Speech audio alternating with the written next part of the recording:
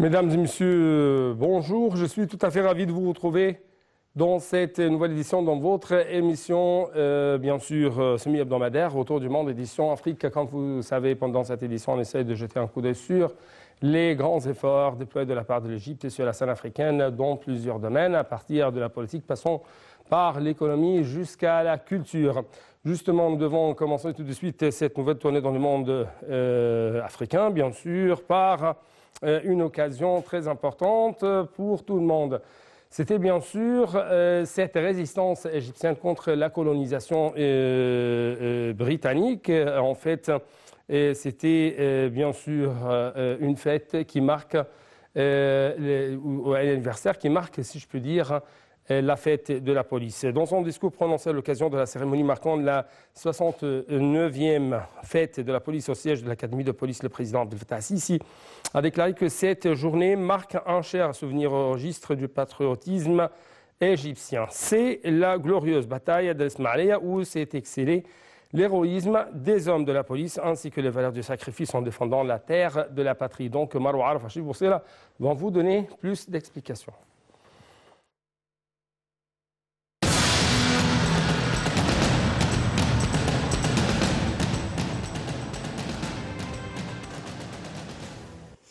Dans son discours prononcé à l'occasion de la cérémonie marquant la 69e fête de la police au siège de l'Académie de police, le président Abdel Fattah Hassisi a déclaré que cette journée marque un cher souvenir au registre du patriotisme égyptien.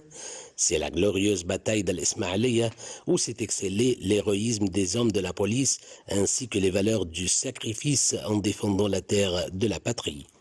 Le chef de l'État a souligné qu'alors que les changements rapides au niveau mondial et régional ont détruit la stabilité des patries afin d'augmenter les risques et la férocité du terrorisme, la situation stable de l'Égypte a été une incarnation de la forte volonté collective de l'État et de son grand peuple, étant une moisson des sacrifices de ses fidèles fils, des hommes de la police et des forces armées qui sont conscients de leur responsabilité envers leur patrie afin d'éliminer le fléau du terrorisme. Le président Abdel Fattah Sisi a indiqué que pour atteindre le progrès et la prospérité auxquels nous aspirons dans tous les domaines, il faut essentiellement un environnement sûr et une terre stable. Aujourd'hui, nous menons une bataille qui n'est ni moins féroce ni moins importante que celle de la construction afin de parvenir à un développement global et de créer un avenir meilleur pour les générations futures, ajouté le chef de l'État, soulignant avoir pris des pas stables grâce à Allah à la prise de conscience et au soutien du grand peuple égyptien sur le chemin de l'établissement de la stabilité de l'État et de la consolidation de ses fondements à la phase de la construction et du développement. Le président Al-Sisi a déclaré que cette journée coïncide également avec la célébration de l'anniversaire de la révolution de 25 janvier, dirigée par des jeunes fidèles aspirant à un avenir et à une réalité meilleure.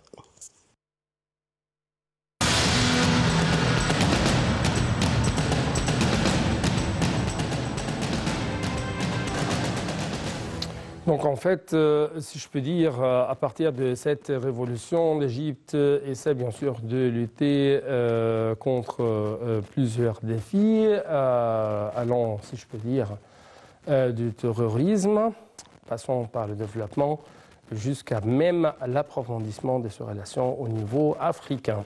Et, c'est ce qu'en fait on va savoir durant les prochaines minutes à travers les explications d'une des nos invités les plus distingués au niveau euh, des affaires africaines. Euh, mais justement, très très très vite, euh, nous devons passer à un autre reportage qui va jeter la lumière sur la visite qui a été effectuée ici en Égypte après son élection à la présidence du Parlement arabe. bien sûr, il s'agit de M. Adel bin Abdelrahman al-Assoumi, qui a prononcé un discours devant la Chambre des représentants de la République du Djibouti en présence d'un certain nombre d'ambassadeurs arabes et étrangers accrédités auprès de la République de Djibouti. Les détails tout de suite dans euh, ce reportage signé Marwa Arafa et Chiboussela.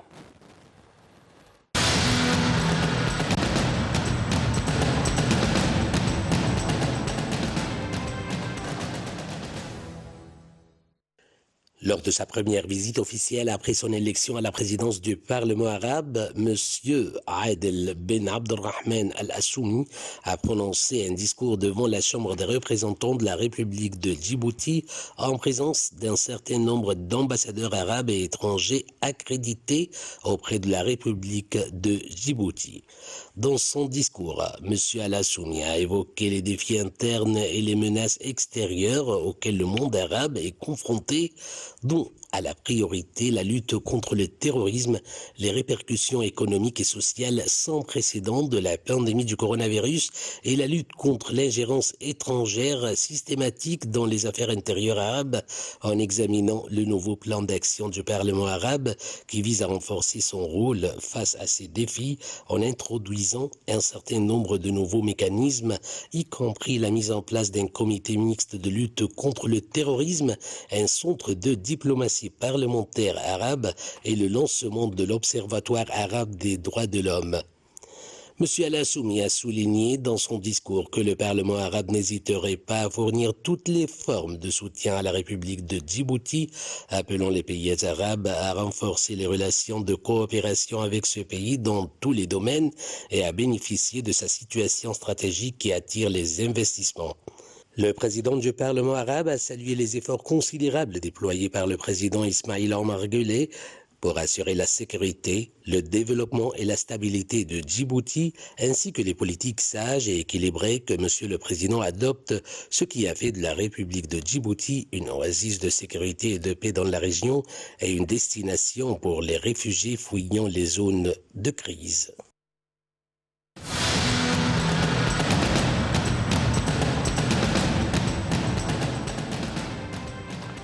Arrivons donc, chers téléspectateurs, à notre question clé euh, de ce programme. Il s'agit bien sûr de relations entre l'Égypte et le Soudan.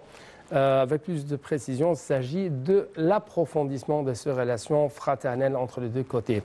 À cet égard, on trouve que l'Égypte participe euh, aux activités de la 38e édition de la Foire internationale de Khartoum, qui se tient du 21 au 28 janvier 2021 par une délégation comprenant plus de 61 exposants représentant 21 entreprises. Donc euh, les explications tout de suite. Après ça, on va bien sûr euh, vous donner plus d'éclaircissements, plus d'analyse à travers euh, la ligne de l'intérêt international et ce bien sûr à travers les explications de notre invité, l'ambassadeur Madame Mona Omar.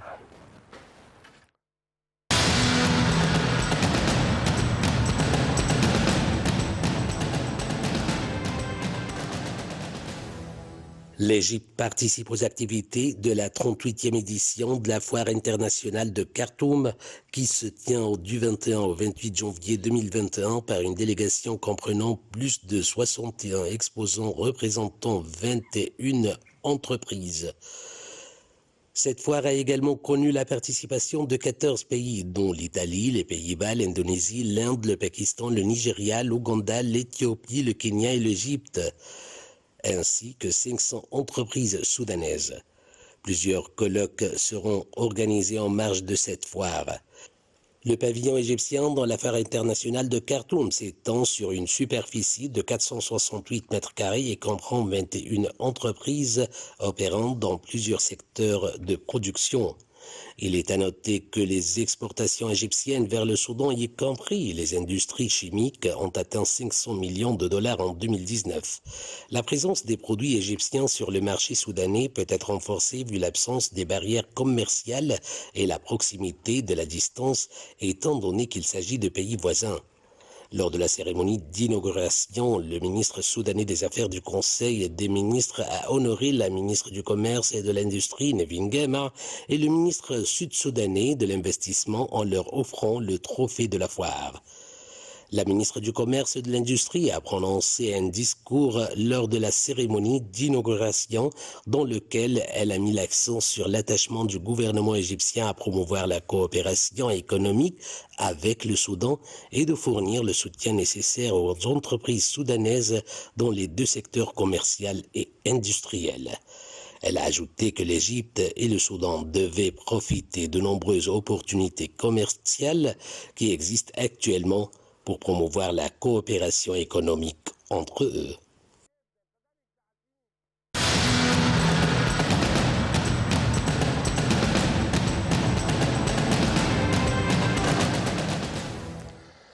Donc, euh, pour avoir plus d'éclaircissements, nous avons euh, l'honneur d'avoir avec nous en ligne de la TV internationale euh, l'ambassadeur Mona Omar, ex-ministre adjoint des Affaires étrangères, spécialisation Afrique. Madame Mona Omar, vous êtes la bienvenue sur la TV internationale. Merci beaucoup pour nous rejoindre à travers la ligne de la TV internationale. Merci et très bonne journée pour, pour vous et pour tous nos interlocuteurs. Merci beaucoup. donc, euh, euh, j'ai euh, plusieurs questions à, vous poser concernant, bien sûr, l'Égypte et, sa profondeur africaine. Justement, avec l'élection de, cette nouvelle Chambre de représentants, est-ce qu'il y aura une sorte de changement au niveau de la politique adoptée par l'Égypte à l'égard de l'Afrique euh, de point de vue politique, de point de vue économique ou de même euh, de point de vue culturel? C'est ma première question. Euh, moi, je ne crois pas qu'il y aura un grand changement parce que d'habitude, l'Égypte, elle suit ses intérêts et nous, comme Égyptiens, ça fait déjà très longtemps, c'est une histoire pour nous euh, d'être vraiment euh, euh, d'être vraiment commis à des relations très spéciales avec tous nos pays africains ou nos voisins africains. Alors je ne crois pas qu'il y aura un changement.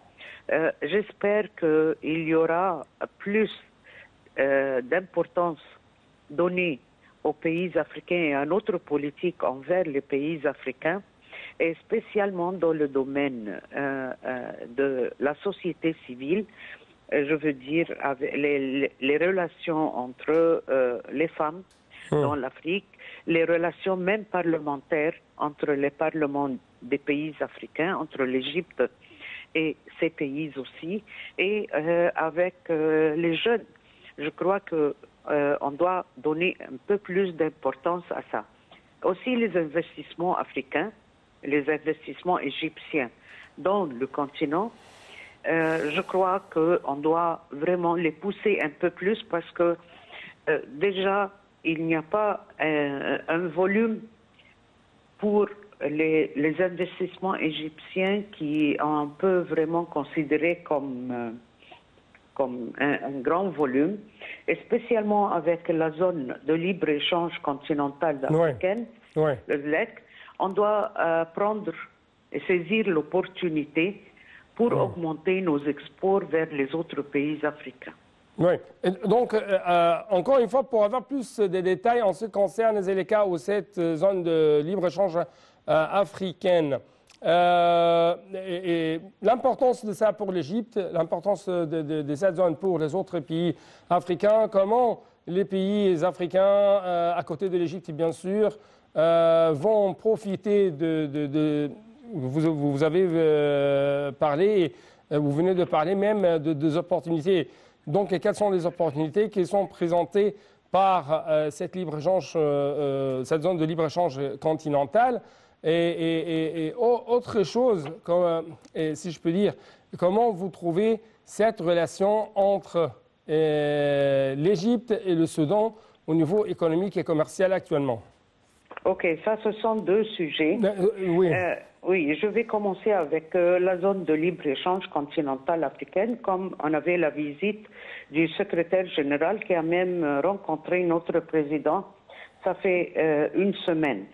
Alors, cette, cette zone de libre-échange, elle, elle est entrée officiellement en vigueur le 1er janvier de cette année.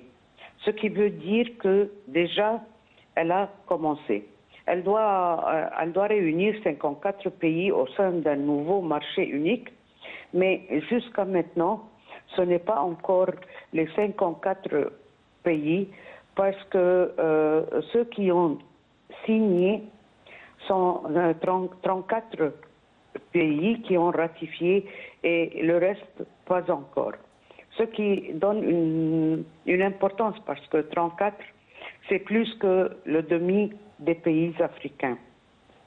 Cette Ouais. euh, zone, elle est considérée parmi les plus grands marchés communs du monde.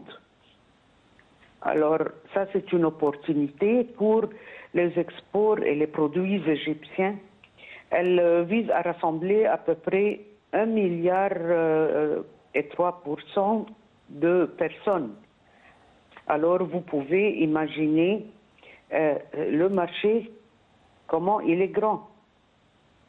Ouais. tous, les, tous les partisans ou bien les partenaires internationaux, ils donnent une grande importance à ce marché commun. Euh, malgré que le marché commun jusqu'à maintenant, le marché de, de cette libre zone, il, euh, il confronte beaucoup d'obstacles, tels Ouais. que par exemple des- les procédures administratives qui sont lourdes, les infrastructures dans le continent qui sont peu développées, euh, les politiques de protection de euh, certains de, de ses membres qui pourraient freiner le développement de ce marché commun. commun. Alors, euh, euh, Et la a- corruption même, ma- Madame l'ambassadeur, et la, la corruption même, vous, vous savez que et- et- il y a une sorte de culture qui, est- qui est enracinée au sein, euh, de, de- si je puis dire, de, de ces sociétés africaines, euh, la corruption euh, qui, et qui euh, fait perdre. Oui, la corruption Hmm. est l'un des problèmes. euh, euh, beaucoup est- d'opportunités, est un grand problème. Ouais. Mais il faut dire que même l'annexe de l'accord qui vise sur les origines des produits n'a pas encore été finalisé. Hmm. Et ça, c'est une étape très essentielle pour déterminer quels sont les produits qui peuvent être taxés ou non taxés. Ouais. Alors, il y a encore un chemin à faire pour cette zone libre, mais il faut déjà que nos investisseurs et nos hommes d'affaires égyptiens visent et mettent leur plan pour savoir comment ils peuvent user cette opportunité qui est une opportunité qui ne va pas se, se répéter, je crois. Oui. Le rôle de l'Égypte, euh, bien sûr, euh, comme tout le monde euh, euh, savent, ou comme tout le monde sait, l'Égypte s'engage de plus en plus à, si je peux dire, éliminer de tels obstacles et, qui, qui essayent d'entraver ce bon lancement de cette zone de libre-échange africain. Donc, euh, est-ce que vous pouvez parler des efforts égyptiens à cet égard? Ouais, je peux vous dire que, par exemple, c'était durant la présidence de l'Égypte pour l'Union africaine que euh, cet accord a été euh, ratifié. Et c'est par les efforts de l'Égypte, de la diplomatie égyptienne, qui a été partout dans le continent. Et qu'on a pu avoir euh, la, euh, la ratification et comme ça, le 7 juillet 2019, lors de la sommet de l'Union africaine, c'est durant la présidence de l'Égypte que ça a été annoncé, euh, cette ZLEC, comme on dit, la, la zone libre d'échange continentale africaine. Ça, c'est la première chose. La seconde, c'est, comme j'ai dit avant, la rencontre qui a pris place entre le président El Sisi et le secrétaire général de, euh, du ZLEC. Et le président a offert au secrétaire général toute l'expertise égyptienne qui peut aider à surmonter les obstacles qui, que rencontre cette euh, euh, région de libre-échange. Oui. Euh, Jusqu'à maintenant, on n'a pas encore commencé parce qu'ils viennent de euh, choisir Ghana, Accra, comme euh, quoi, headquarters Hmm. euh, pour cette libre zone. Et encore, ils sont en train de faire les, les, les, les procédures administratives premières. Ouais. Mais nous, on a offert d'aider et de présenter l'expertise égyptienne qui peut les aider. Oui, justement, comme vous savez, l'Égypte a participé aux activités de la 38e édition de la foire internationale du carton. Donc, comment ça va améliorer de plus en plus les relations entre l'Égypte et le Soudan? Comment ça va profiter euh, aux investisseurs égyptiens, aux entreprises égyptiennes? Euh, euh, il me reste presque une minute. C'est seulement, je voulais dire qu'il faut mentionner que l'Égypte était